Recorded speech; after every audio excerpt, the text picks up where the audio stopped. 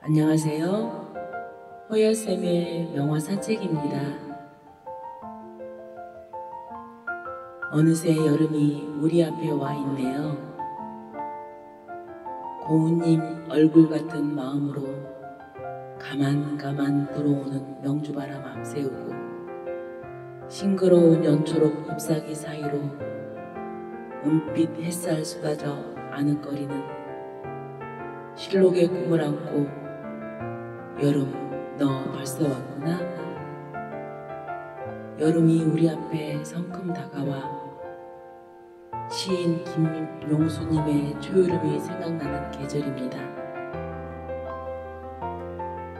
오늘은 눈부신 여름만큼이나 화려한 꽃 빈센트 반 고흐의 꽃과 과일 정문화를 소개하려고 합니다.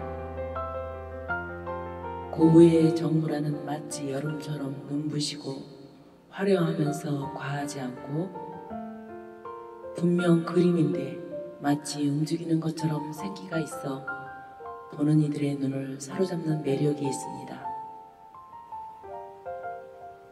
고흐 생전에 붉은 포도밭 한 점에 팔릴 정도로 그의 작품은 인기가 없었지만 사후 그의 모든 작품은 명품이 되어 있다고 해도 과언이 아닙니다.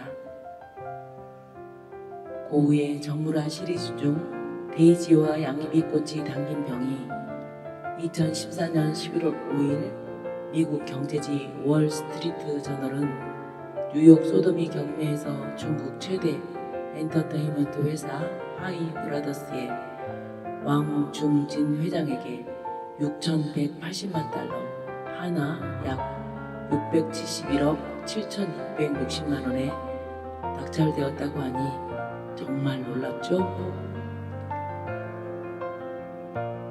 그의 작품을 보고 있으면 마치 살아 움직이는 것 같은 착시 현상이 들어서일까요? 전 세계인들이 왜 그토록 고흐의 작품에 열광을 하는지 알 것 같습니다. 불꽃처럼 살다간 고흐의 생애와도 닮은 꽃들의 향연. 꽃이 주는 아름다움도 있지만 그 속에서 느낄 수 있는 고흐의 삶이 고스란히 담겨져 있는 듯하여 애틋함과 아련한 그리움이 밀려옵니다.